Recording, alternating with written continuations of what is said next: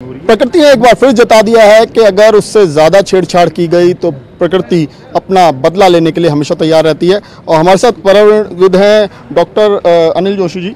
अनिल जी, प्रकृति एक बार फिर से बता रही है कि ज़्यादा छेड़छाड़ की तो भारी पड़ेगा। लगातार पिछले दो तीन दशकों से भी बता रही है। फिर दूसरी बात यह है कि दुर्भाग्य ये भी है कि दूसरों के द्वारा की गई छेड़छाड़ हिमालय के लोगों को झेलनी पड़ती है।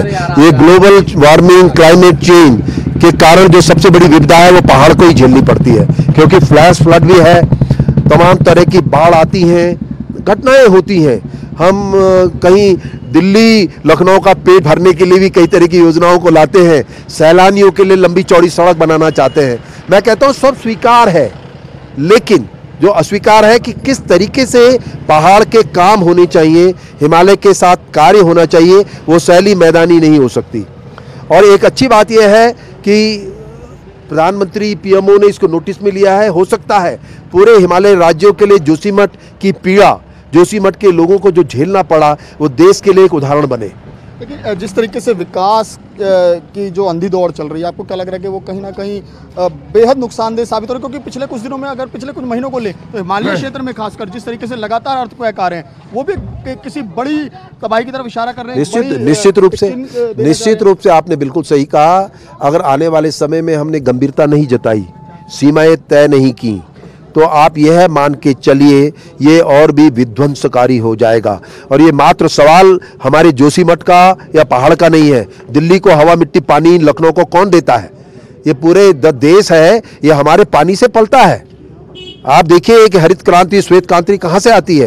हिमालय नहीं होगा, उसके प्रति सामूहिक चिंता नहीं होगी। मेरा मानना है जोशीमठ के लोग क्यों परेशान हो? दिल्ली के भी होनी चाहिए, लखनऊ के लिए होनी चाहिए इस घटना के लिए। क्योंकि वो ज़्यादा हिमालय को भोगते हैं और उसका लाभ लेते हैं। तो हिमालय की ये घटना को आप ये देखिए कि पूरे हिमालय के प्रति चिंता का सवाल है।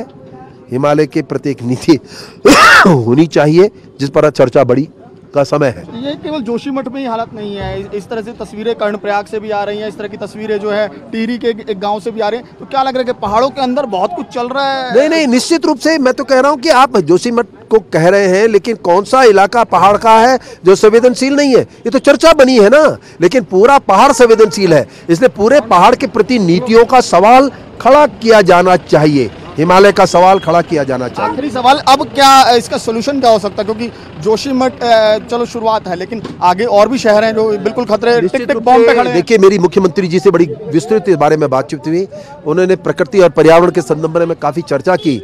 यही निकल के आया है कि वो सभी शहरों के प्रति एक नीतिगत बातचीत करेंगे म्यूनिसपैलिटी से बात करेंगे ताकि उनकी धारण क्षमताओं का पता चले। वो उन्होंने पार की है या वो अभी सीमा में है, अगर वो है तो उनकी सीमाओं को न पार कर पाए, इसके लिए एक नीति बननी चाहिए।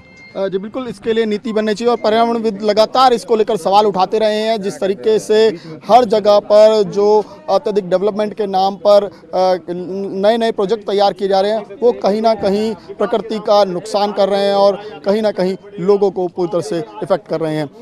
कमिश्नर अमित राय के साथ विमल कौशिक, न्यूज़ ट्वेंटी जोशीमठ। नमस्कार, मैं हूँ मानक गुप्ता।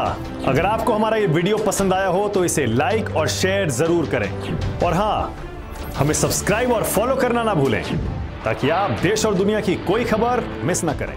तो जुड़े रहिए हमारे साथ और देखते रहिए न्यूज़ 24